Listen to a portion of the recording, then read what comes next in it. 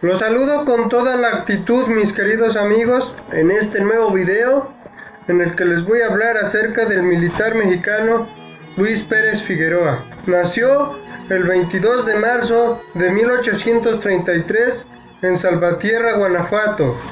Corría el año de 1853 cuando ingresó al Ejército Nacional como subteniente de infantería. Para 1855 alcanzó el grado superior. En 1866 se le otorgó la banda de general de brigada y un año más tarde la de divisionario. Se distinguió en la batalla de Tultitlán, conocido por haber combatido a los imperialistas en la legendaria batalla de la Carbonera, bajo las órdenes de Porfirio Díaz. Fue firmante del plan de Tuxtepec, el cual defendió hasta lograr el triunfo. Obtuvo 78 plazas entre combates y escaramuzas. Se casó con una mujer oaxaqueña. Tuvieron ocho hijos, tres varones y cinco mujeres. Vivió mucho tiempo en la ciudad de Oaxaca, de donde era originaria su mujer. Permaneció en el ejército durante 40 años. Debido a su patriotismo,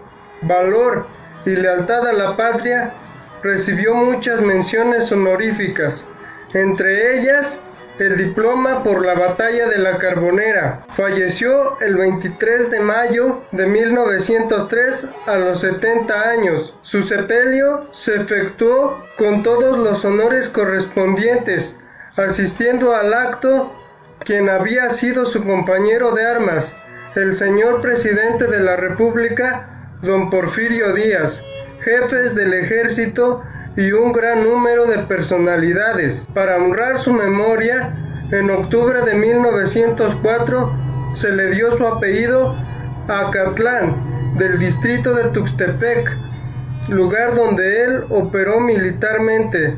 Espero que les haya gustado mucho este video y recuerden que me pueden apoyar con un like y ayúdenme a compartir mis videos en sus redes sociales. Hasta pronto.